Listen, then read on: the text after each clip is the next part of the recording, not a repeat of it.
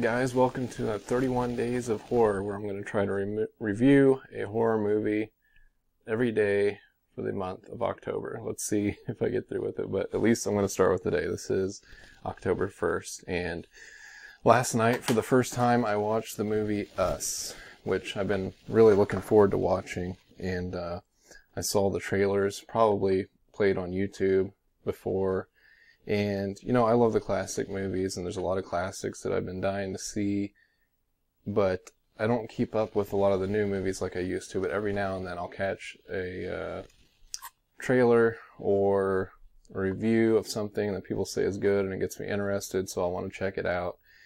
I saw this had a lot of good reviews. It looked interesting from the trailer, which I'm playing in the background.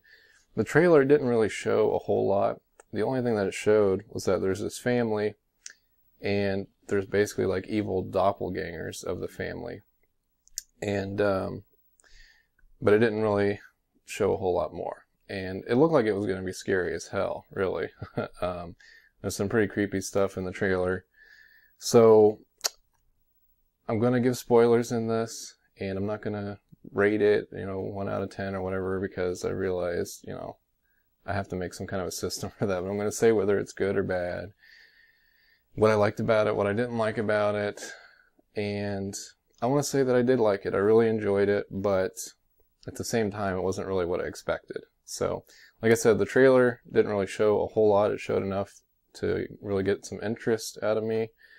Um, I expected it to be scary as hell. Maybe a lot of pop out scares, a lot of really eerie, disturbing imagery and stuff. And it wasn't really so much that. I think it was more of a story based um, but it was very original and unique. And uh, I've read some people say that it kind of copied off of a Twilight Zone episode, but everything, you know, copies off something else. Everything is inspired by something else. But to me, I hadn't really seen a lot of stuff like this. Maybe, you know, Invasion of the Body Snatchers or something because, you know, you got like duplicate people there and maybe kind of like Slither a little bit. Um, but let's just talk about the plot a little bit. So at the beginning of the movie, uh, there's this girl with her family, and they're basically at a carnival, I guess Santa Cruz Beach. I guess there's a carnival there. And basically, she walks into this kind of funhouse place that says "Find Yourself." Um, she walks in there, and there's like mirrors and stuff.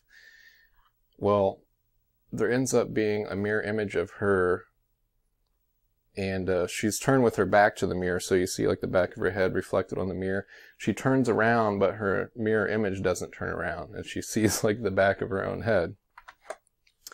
And basically uh, it kind of ends there and it, it, the timing there is like 1986 and then we jump into the future when this girl is older or is it the same girl? Okay uh, we'll talk about that later but I've already had those questions, already seeing a lot of horror movies and, you know, movies in general, whatever, wrestling. I'm always making predictions and you kind of already get the idea of what maybe could happen and you're wondering, you know, was there another being in there? You know, did they swap places? You know, I don't know. But the idea is that you're supposed to see that she's older now and she has her own husband and she has her own kids, a boy and a girl. Well, um, I guess they want to go to this vacation to, I think they want to go to Santa Cruz or something uh, for a family vacation. She doesn't really want to go there, but her husband insists on it. Uh, the acting in, in, this is pretty good. Uh, everybody played dual roles because, like I said, the family has like an evil doppelganger version of themselves. So they each played uh, those both. Um, and especially the main female uh, she, you know, probably had the biggest role and she probably did the best job, but the husband is really funny. And there's a lot of comedy in this, and I read that in the reviews, and uh, there is a lot of comedy. I guess that Jordan Peele, the guy who directed this, um, is a comedian. So he also made Get Out, which a lot of people said was really great, and uh, might have to watch that sometime. But I was really interested in this one anyways, they go on vacation there, and um, I didn't think it took a whole lot of time to get into the action. When, uh, you know, first of all, there's a scene with them hanging out at the beach, and uh, they are with their friends, and Tim Heidecker is one of their friends, and uh, he's one of the main actors that I knew in this movie because he was on Tim and Eric's Awesome Show, which I used to be addicted to that. It's absurdity, but uh, he's in in this, so um, I loved his role in this and his wife. For an example of some of the comedy, some of the stuff between him and his wife, he asked, you know, if the uh, main lady wanted a drink, and she said no. You know, I'll stick with water. He asked his wife, you know, do you want do you want a drink? You want thirds? She's drinking alcohol. And he's like, I gotta get your medicine. And he pulls out the alcohol and pours her a drink. And he's like, What's the magic words? And she's like, I hate you. He's like, Okay, good enough for me. I'm like, Whoa, that's brutal. Well, uh, so there's comedy like that. Um, but anyways, the uh, main family, their son's name is Jason, I think, uh, or Jordan, but I think it's was it Jason or Jordan? You know, it really doesn't even explain. It doesn't give like a synopsis on the back of this, unfortunately. But anyways, her son finds that same funhouse type deal, whatever. She he walks close to there. I don't know if he goes in or not, or uses the bathroom next to it. But he sees a guy standing there, like with his arms spread out, and there's like blood dripping down his fingers. We don't really know what's going on with that. Later on, he draws a picture of him, and his mom sees it. But his mom freaks out because he disappeared for a while. She doesn't want him disappearing from her. We see some flashbacks sometimes too of this girl, this woman when she was a girl, how um, she was traumatized after that incident and her family has taken her to like a psychiatrist. She wasn't the same as before. Um, but anyways, this family, uh, they're ended up confronted by the other family. Uh, the son or someone says, "Hey, there's a family outside," and so it's nighttime, and you see like their silhouettes, like in the light, and they're all kind of just standing together, and um, so the father's like, "What do you want?" and stuff, and and they won't leave, and uh, he ends up getting a baseball bat, and he's like, they they called the cops, but the cops won't be there for like 15 minutes, and he's like, you know, the cops are on the way, but if you guys want some action, I'll bring some. So he's kind of uh, trying to act tough when he's really scared. Um, I thought, you know, why is it so dark? Why don't they shine the lights on him or something while they turn on the lights? Well, anyways, like the family ends up coming towards them, like the evil family comes towards them, and uh, you know the father has the baseball bat, and the mother gathers the two kids, and I'm like, why don't they get some knives or something like to defend themselves? But you know, it's a horror movie, so I let a lot of things go. But um, anyway, the weird thing to me is the family comes in, the evil family comes in, and basically makes them all sit down, and they're like confronted with their evil family in the living room, and then it's like storytelling time Okay, and this evil version of the main female, and her name's like Red or whatever. She goes in the story about how this girl has a shadow, and the girl, you know, gets all these luxurious things in life. She gets beautiful toys when the shadow gets like sharp objects, and she, uh, the beautiful girl, gets, uh, you know, good food while the shadow gets to eat raw rabbit. it's kind of weird. And she has a weird voice and everything. They're all different spooky. Like the son has like a mask on covering his head, kind of like a sackcloth thing. And um, so they're all a little bit different in the family. But anyways, mm, they all end up, the evil ones end up chasing them. She's, she basically says that, that the shadow and the girl were like tethered together and that this is going to be the untethering, that she's going to separate themselves and that she's been waiting for this for a long time. Basically, she wants revenge, and uh, they're going to enjoy this and take their time untethering. And so, uh, there's some scenes where they chase him out. You know, I thought the storytelling it's really interesting, unique, and original, but it kind of brought down kind of my expectations from what the movie was before because. You know, I was expecting a bunch of jump scares and disturbing imagery and stuff, and it was more of a creepy, kind of campfire story thing to me. But I love how the film progressed. Um, they end up kind of escaping from the evil family.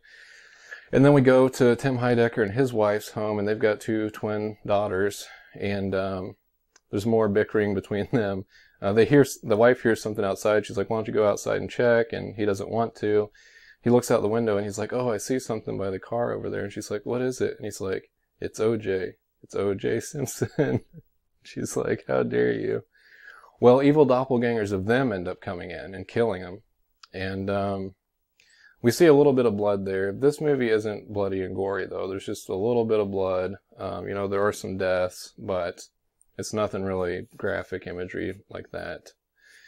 It's more of a disturbing story, and um, so the original family goes to Tim Heidecker's house, and they're replaced by the doppelgangers now. And I loved Tim Heidecker as the evil one too. They they all make noises. Nobody really talks except for the the main woman. Um, he makes sounds like raptor, like, like he's all moving all weird and stuff. Um, but the two kids end up like killing the twin girls basically, and you know, they end up killing all the that family.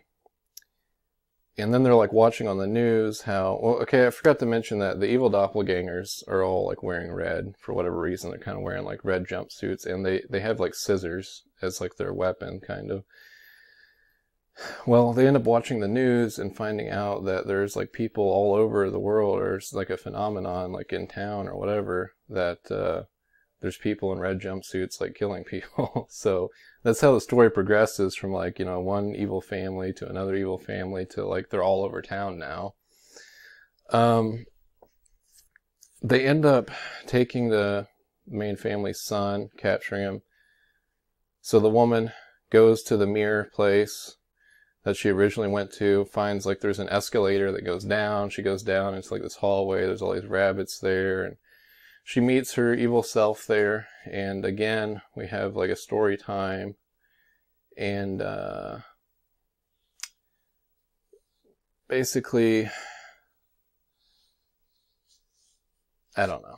We just we find out how it reveals how like everybody has like a double and like maybe they were created by the government to be useful but the doubles don't have souls. They just like imitate things. And we saw how like when she was at the carnival as a girl there was kind of like a pretend carnival like down in the in the sewers. And at the beginning of the movie it talked about how there's subways and sewers and tunnels under the earth and like nobody knows any purpose for them and stuff so that's interesting, but we get the story, kind of like the backstory of what's going on and why this is all happening.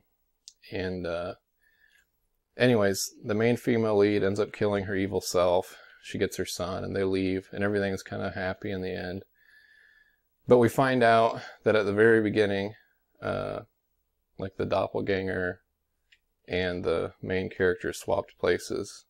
So really, it's like the evil person who was the good family all along, and she was killing like the the innocent like real girl, which kind of blows your mind. Which you kind of expected early on. Like I, I kind of predicted that already, but then when you try to put like the plots together and stuff, it's like, hmm, I don't know how this all works out. It's like okay.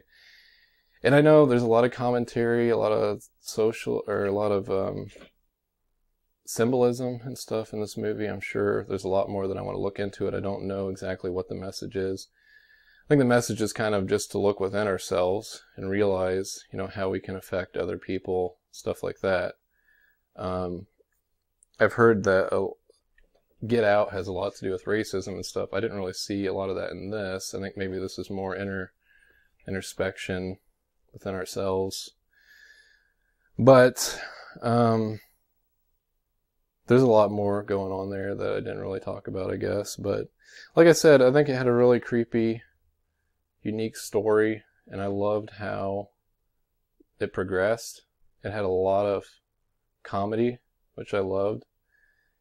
It didn't really, you know, scare the hell out of me like I was thinking it would. Uh, you know, like when you're alone at night and you remember like scenes from the movie and kind of spooks you out. But uh, I think it probably would creep out, you know, some people, uh, but I don't know what else to say really. There's so much, but I feel like I gotta make this kind of short. I liked it, I really did. Um, I think it's definitely a horror movie.